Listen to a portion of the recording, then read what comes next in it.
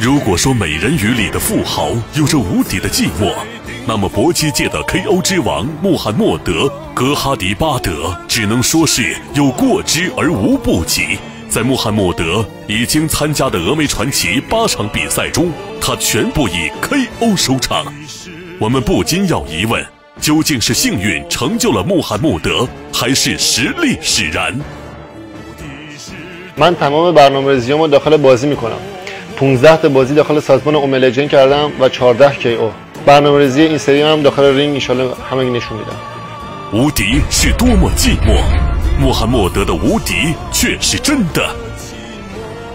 تو این چند وقتی که نتونستم اه، توی این مسابقات بیام به خاطر این بود که سری قبل حریفی نبود که جلوی من بازی کنه من تمرینات خودم رو ادامه دادم که تو این سری بتونم اه، از روی حریفم مثل قلته که روش رد بشم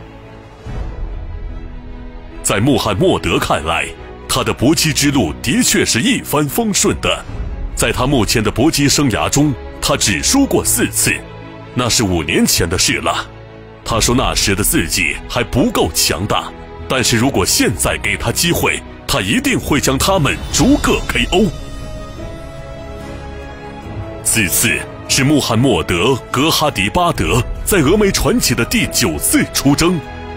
他能否延续往日的 KO 之势，极致碰撞，一触即发？